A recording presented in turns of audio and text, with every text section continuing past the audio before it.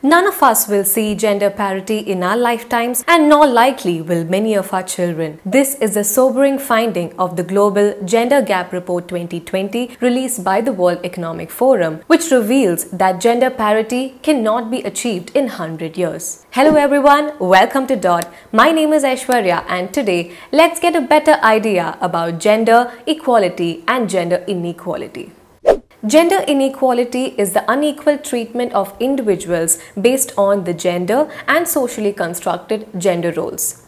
But what is gender? Gender is a social construct made by the society that is people like me and you based on personal and social traits and definitely not biological traits. Gender stratification refers to the unequal distribution of wealth, power and privilege across genders. Oh, by the way, the stratification based on biological traits is called sex. How exactly deep-rooted is gender inequality? Archaeologists at the University of Sevilla in Spain started studying about Neolithic societies of Iberian Peninsula on the perspective of gender specifically. What they observed was that men were increasingly depicted in hunting and fighting scenes in cave paintings and women were not. Men were buried with arrowheads or projectiles while women with ceramics. Let us now look at the prevalence of gender inequality in various sectors. Starting with corporate sector, of the Fortune 500 companies, only 37 CEOs are women, which is just 7%.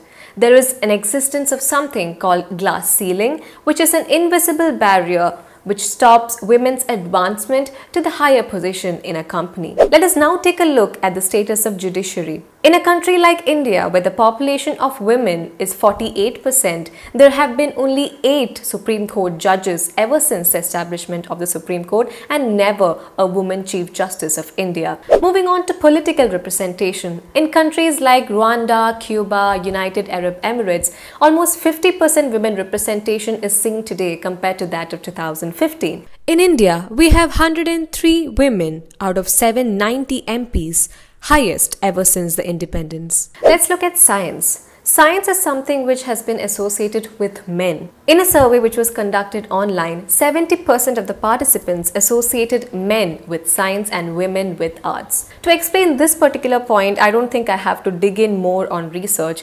Being a computer science engineer myself, I have seen the boys to girls ratio as 4 is to 1 in my own university. Talking about the movie sector, often the male lead is given a veto to choose the female lead in the movie and he is paid much more than the female counterpart. Similar to glass ceiling in corporate sector, there is something called celluloid ceiling in the movie sector. It is a metaphor for the underrepresentation of women in hiring and employment in Hollywood. Research has found that women in Hollywood earn on an average $1.1 million less than male counterparts with similar experience. Talking about gender pay gap, in India, the Monster Survey Index reveals that women earn 19% less than men. Truth to be told, women come home from work to more work like cleaning, cooking, childcare, etc. And sociologists term this as second shift phenomenon. And this is the major reason why the contribution of women in the GDPs of countries are much lesser than that of men. But on the other side, if this work is actually included in the calculation of GDPs, I'm sure that women would be contributing much more than men. I'll tell you why.